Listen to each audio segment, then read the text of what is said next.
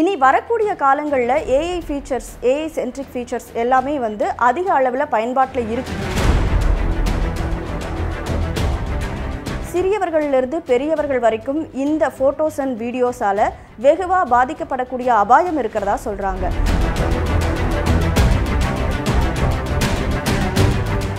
ஏஐங்கிறது தொழில்நுட்பத்துடைய அடுத்த கட்ட வளர்ச்சியாக இருக்கக்கூடிய சூழல்ல இது பலரையும் வெகுவாகவே ஈர்த்திருக்கு. குறிப்பாக மருத்துவத்துறையில் நோய்களை கண்டுபிடிக்கக்கூடிய சோதனையில் இது துல்லியமான முடிவுகளை காட்டுறதா சொல்லப்படுது. இது மட்டும் இல்லாமல் புற்றுநோய் போன்ற கொடிய நோய்களுக்கான கதிரியக்க அறுவை சிகிச்சைகளில் பின்விளைவுகள் குறைந்த வகையில் அந்த நோய் பாதித்த பகுதிகளை மட்டுமே ட்ரீட் பண்ணுறதுக்கு இந்த செயற்கை நுண்ணறிவு பயன்படும் அப்படின்னும் சொல்லப்படுது. இதனால் மருத்துவத்துறையை பொறுத்த வரைக்கும் இந்த செயற்கை நுண்ணறிவு அப்படிங்கிறது ஒரு வரப்பிரசாதம் அப்படின்னே சொல்கிறாங்க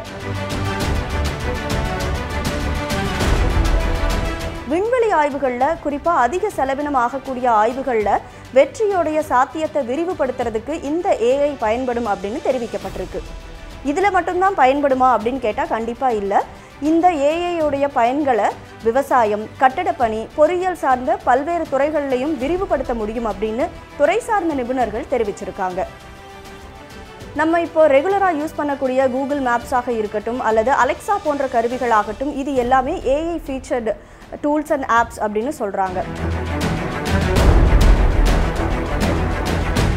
இனி வரக்கூடிய காலங்களில் AI features AI centric features எல்லாமே வந்து அதிக அளவில் பயன்பாட்டில் இருக்கும் அப்படின்னும் அதே போல் அதற்கான துறைகளில் வேலைவாய்ப்பு அதிக அளவில் உருவாகும் அப்படின்னும் துறை சார்ந்த நிபுணர்கள் தெரிவிச்சிருக்காங்க.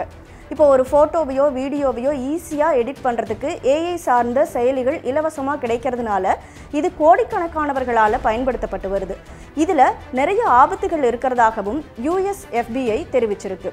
அதாவது சிறியவர்களிலிருந்து பெரியவர்கள் வரைக்கும் இந்த ஃபோட்டோஸ் அண்ட் வீடியோஸால் வெகுவாக பாதிக்கப்படக்கூடிய அபாயம் இருக்கிறதா சொல்கிறாங்க இந்த ஏஐயை பயன்படுத்தி ஒருத்தரை ஒருத்தரோட ஃபோட்டோவை வச்சு எப்படி வேணாலும் அதை வந்து எடிட் பண்ணிக்க முடியும். அப்படி இருக்கும்போது ஒரு குறிப்பிட்ட நபரை மிரட்டியோ அல்லது வன்கொடுமை பண்ணவோ நிறைய வாய்ப்பு இருக்கிறதா சொல்லப்படுது. அது மட்டும் இல்லாமல் அந்த குறிப்பிட்ட நபரை மிரட்டி பணம் பறிக்கிறதுக்கான வேலைகள் அதிக அளவில் நடக்கிறதாகவும் யூஎஸில் இருக்க எஃபிஐ கவலை தெரிவிச்சிருக்கு. இனி வரக்கூடிய காலங்களில் இந்த ஏஐயுடைய பயன்பாடு அதிக அளவில் இருக்குங்கிறதுனால நமக்கான வேலை வாய்ப்பு அப்படிங்கிறது ரொம்பவே கம்மியாகும். அதாவது வேலை இழப்பு அதிகமாக இருக்கும் அப்படின்னு தெரிவிக்கக்கூடிய இந்த துறை சார்ந்த நிபுணர்கள் அடுத்து ஒரு நாற்பது ஐம்பது வருஷத்துக்கு அப்புறமா ஏஐ தான் மனிதர்களை ஆளக்கூடிய அளவில் மிகப்பெரிய அளவில் உருவெடுக்கும் அப்படின்னும் எச்சரிக்கை விடுத்திருக்காங்க.